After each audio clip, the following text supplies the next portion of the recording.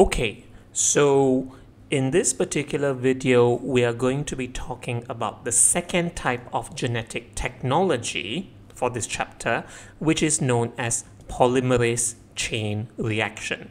For the purpose of this video, because the entire sentence is a mouthful, I am just going to refer to this particular technology as PCR because it's easier that way. Now, without wasting time, what we have to understand about PCR, what exactly is PCR? This particular technology is what happens when you take a single DNA molecule and you insert the molecule into that particular machine. You don't have to know how the machine looks like. That's the PCR machine, by the way. And when you insert this uh, DNA molecule into the PCR machine, what will happen is the machine will carry out DNA replication and amplify the number of DNA molecules. So from one DNA molecule, you can get up to about, let's say, 8.6 to 9 million DNA molecules within a short span of time. Usually it takes about 45 minutes or so to replicate one DNA molecule to become about 9 million identical DNA molecules. You don't have to memorize the number, I'm just telling you that the idea of the PCR machine is just to amplify the number of identical DNA molecules. Now, why do we do that? We do that for the reasons of genetic engineering. If you remember, when we talked about recombinant DNA technology, we extracted the DNA from the organism and we wanted to make multiple identical copies of this particular gene. And to make identical copies of this gene, we can use PCR in order to increase the um, success of genetic engineering. We also use PCR for DNA fingerprinting. I'll explain DNA fingerprinting later.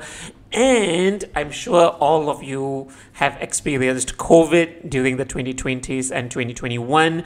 Um, when you had COVID, one of the tests to confirm whether you have COVID 19 or not is the PCR test. So, that PCR test is also the polymerase chain reaction test. Okay, so but for the purpose of the exam, the PCR can also be used to detect the presence of the virus in our body. So we can use PCR for a lot of things, but the main crux of PCR is just to make large copies of identical DNA molecule. Now, fundamentally, PCR is just DNA replication happening repeatedly from one DNA molecule to 2, 2 to 4, 4 to 8, 8 to 16, and so on until it gets a large number of DNA molecules. Before we talk about the process of polymerase chain reaction in detail, I want to do a little bit of revision from chapter 6 of your AS when we talked about nucleic acid and protein synthesis. Because in that particular chapter, we also covered DNA replication, but that DNA replication was happening inside a cell. So this is natural DNA replication. This is artificial DNA replication right here. So just a little bit of uh, revision. I'm just drawing out the original or template DNA molecules with two strands and the two strands are joined together through complementary base pairing. Base A to T, C to G where they are connected by hydrogen bonds.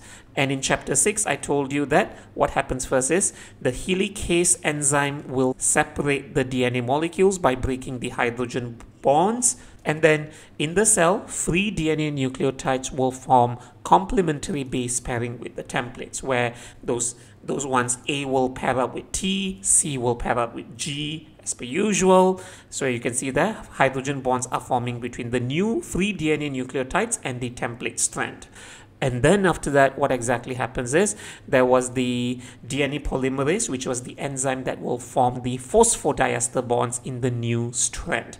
And if you remember, the the phosphodiester bonds will move in opposite directions, but I'm not going to go through the leading and lagging strands. You don't have to know that for this chapter.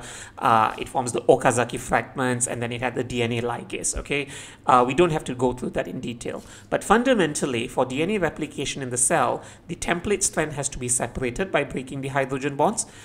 Free DNA nucleotides must form complementary base pairings with the template strand, and you need the enzyme DNA polymerase to form the new phosphodiester bonds in the new strands. The PCR machine also carries out DNA replication, but it does it in a slightly different way. Okay, the principles are still the same. You still need to separate the strands, complementary base pairing needs to happen and you need to form the new phosphodiester bonds. But how does the PCR machine do this? The first process of PCR is denaturation. Now think about it. The first thing you need to do is you need to separate the DNA strands by breaking the hydrogen bonds. So how does the PCR machine do this? Immediately some students will say, oh, uh, very simple, we just add the helicase enzymes to the machine. While that is a possible answer, we want to try avoid using enzymes if we could.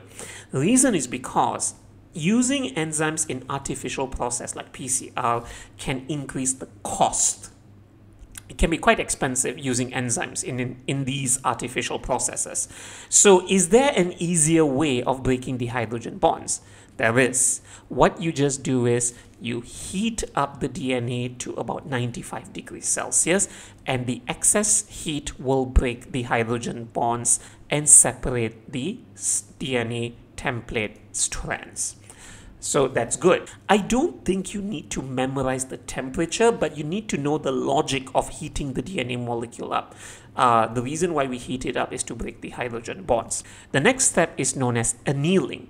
Now, Annealing is an extra step that was not mentioned during DNA replication. I did not mention this when we were covering chapter 6, but you need to know this for PCR by the way. Now for PCR, the annealing step is referred to as adding something known as primers. Now what exactly are primers?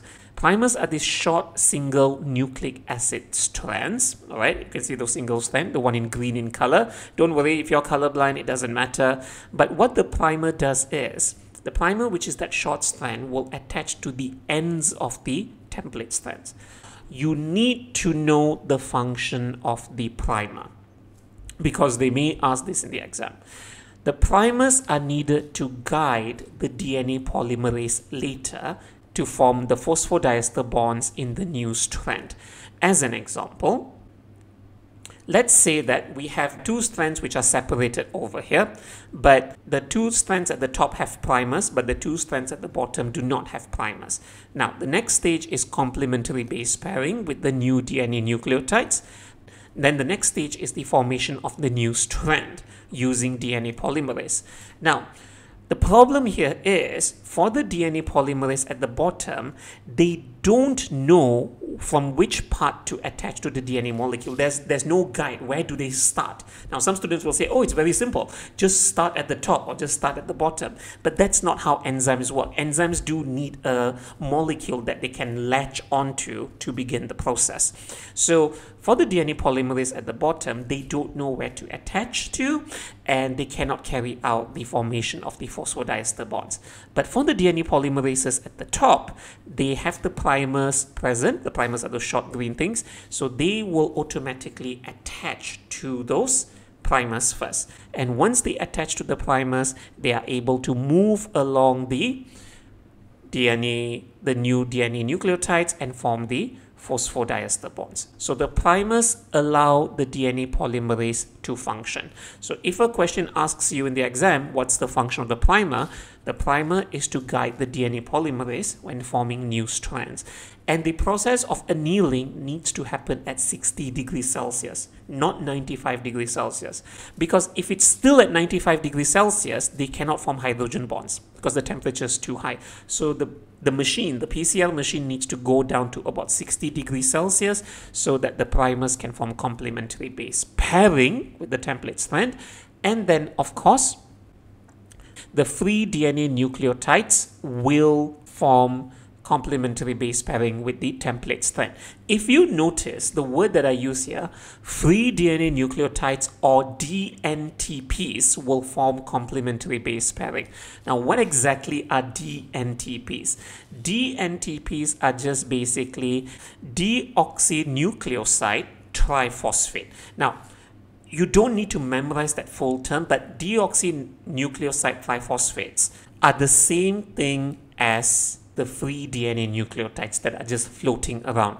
So in the exam, if you want to say, uh, if you want to use the word free DNA nucleotides or DNTPs, it's up to you. The point of the matter is these nucleotides, um, which are these monomers, will form the complementary base pairing on the template strand, and that is elongation. But what is left, by the way, you need to form the new strands, the new phosphodiester bonds. And to form the new phosphodiester bonds, we need to use DNA polymerase. So what actually happens here is the DNA polymerase will then, they will move along the template strand and also the nucleotides and they will form the phosphodiester bonds. The thing I want you to notice here is this process happens at 72 degrees Celsius. Immediately, some students will say, some students will catch on and say, wait a second, DNA polymerase is found in human cells and they usually function best at 37 degrees Celsius. 72 degrees Celsius is too hot for DNA polymerase. So wouldn't these enzymes denature? And if they denature, they cannot carry out the function, right? But here's the interesting thing. Instead of using normal human DNA polymerase, we will use a special type of DNA polymerase called Taq polymerase. The word Taq here just stands for Thermus aquaticus, which is a type of hot spring bacteria, and the DNA polymerase is actually derived from that bacteria and that DNA polymerase is able to withstand a much higher temperature. In fact, even at 90 degrees Celsius, it's fine.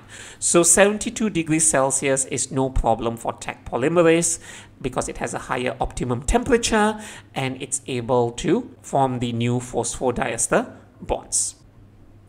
So the steps of PCR in summary is denaturation where we heat up the DNA molecule to 95 degrees Celsius to break the hydrogen bonds and separate the strands annealing at 60 degrees Celsius to add the primers which are these short nucleic acid strands to guide the DNA polymerase then complementary base pairings of the free DNA nucleotides or DNTPs by the way and then after that using Taq polymerase to make a new strand at 72 degrees Celsius.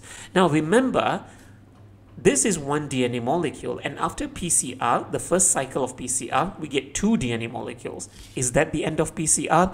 No, the process needs to repeat itself, you know? So you have to heat up that DNA molecule again where you need to denature it. Because remember, the first step is denaturation. So once you reach the final step, you have to go back to the first step. You repeat it at 95 degrees Celsius. Now, when you heat up this machine at 95 degrees Celsius, do the Taq polymerase denature? No, they don't denature.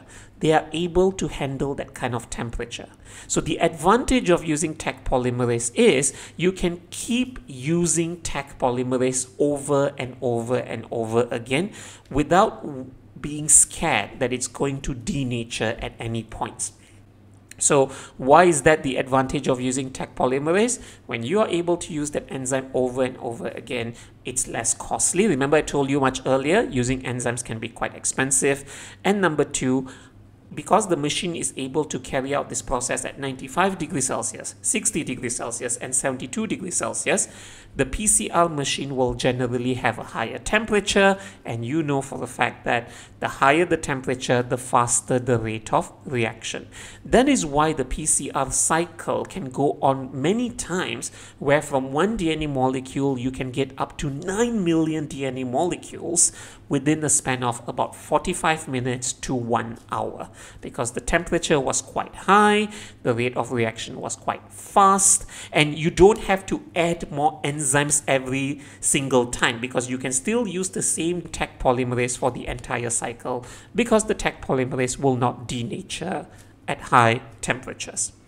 This is the steps of PCR that you have to be aware of, by the way.